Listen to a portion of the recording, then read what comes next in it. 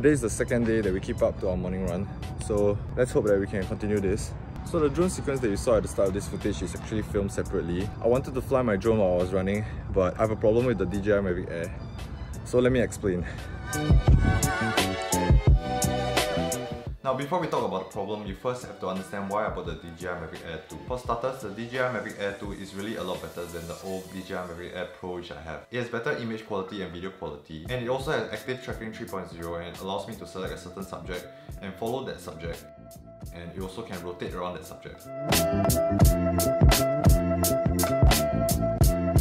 Thirdly, the remote control is also a lot better designed. I think, in my opinion, it can hold on and it has better grip onto the mobile phone than the old DJI Mavic Pro. And lastly, it also has a more compact build with smaller batteries and I can literally put everything into a small bag and just carry it around. It's really a lot more portable, but I have a problem with it. You see, I bought the DJI Mavic Air 2 with the purpose of wanting the drone to follow me while I'm exercising. And this in particular is because I had an upcoming snowboarding trip and I was hoping that the drone would be able to follow me while I snowboard and I thought that would be really cool. And before I bought the Mavic Air 2, I actually did a little bit of research and there were a lot of videos that spoke very well of the active tracking. There's even the Litchi app that costs 20 USD which allows the Mavic Air 2 to track using the GPS signal that is coming from the remote control. So I thought wow this drone would be great, you know, I've done a lot of sport and it would be so cool if the drone can follow me while I'm working out or exercising or running or even snowboarding. So it did well when I was testing it on a small run but the problem really came when I went to snowboarding. So the first problem was that the tracking system had problems following the user.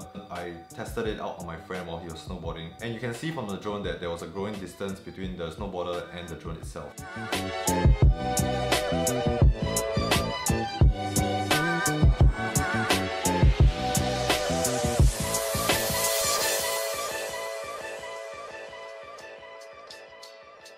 So the next thing is that when you're snowboarding, you're actually going side to side. However, the drone doesn't follow you exactly from side to side and it will actually just stay on its spot. So another thing to take note is that when you're snowboarding, you're actually decreasing in terms of altitude, but the drone doesn't actually follow you as you decrease in altitude. It will actually just stay um, at the same height. So on another occasion, I actually tried to use the drone to follow our car. However, the drone wasn't fast enough and it couldn't keep up to the speed of the car and we really had to slow down the car in order for the drone to keep up. There were a few points that the drone actually lost track of the car as well.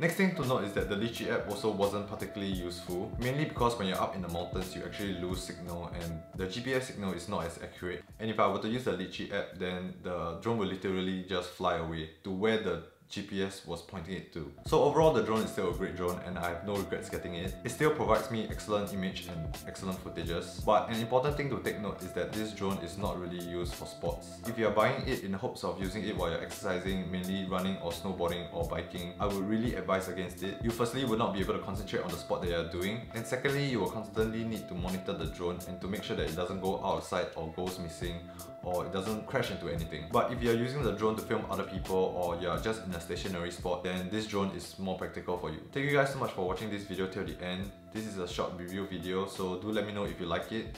If you have any other comments, do leave them in the comment section below.